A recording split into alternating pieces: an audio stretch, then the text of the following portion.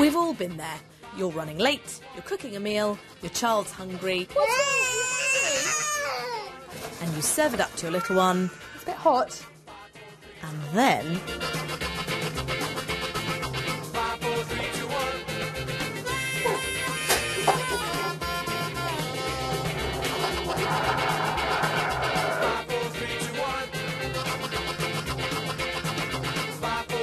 So, Lucy, what is the five second rule? The five second rule is if they drop their food, I think you've got about five seconds to sort of dust it off, give it a blow, and give it back to them before it's got any germs on it.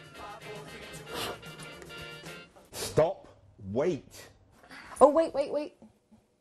I'm going to test the five second rule.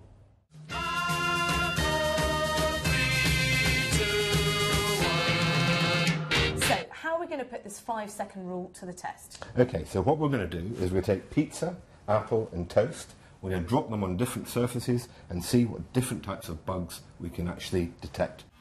So the pizza was dropped on a kitchen floor. We dropped the apple in the street, and the toast, butter side down, of course, on a carpet, all for five seconds. So back in the lab, we've got our three samples ready to put them under the microscope. What we do is we take the specimen, put it, imprint it on the culture plate, remove it, put it back in the safe, and then incubate that overnight.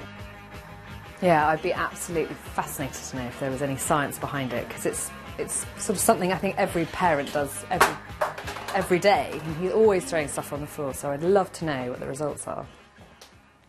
So Ron, here we are in the lab, a few days on. Tell me what you found. Okay. Well, this is the pizza. We dropped on the floor. It's covered in bacteria, and uh, some of them are fecal bacteria, some of them are not.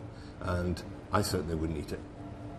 So the next one we tried was the apple on the street floor. Nice fresh fruit. No real sticky surface, but still picks up lots of bacteria. Ooh, Yeah. so definitely wouldn't risk eating that Wouldn't either. eat that either. Finally, we tried a piece of bread. That looks like it's the worst one. Yeah, absolutely. The butter helped pick up lots of bacteria, and I certainly wouldn't eat that, would you? Definitely not. So the moral of the story is, if you drop it, Chuck it. and how about this one? This is the one that proves your theory. It is. This is at zero seconds. So it doesn't matter how quickly you pick it up, it's No. still going to be contaminated. Absolutely. So, Lucy, we have the scientific findings, and you'll be interested to know that the five second rule is actually the no second rule.